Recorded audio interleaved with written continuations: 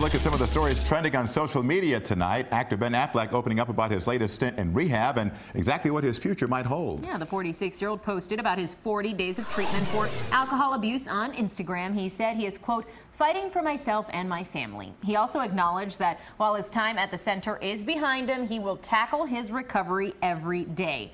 Affleck went to rehab after an intervention by his ex-wife, actress Jennifer Garner. The two have three children together. And she's speeding up their divorce, apparently. Well, we all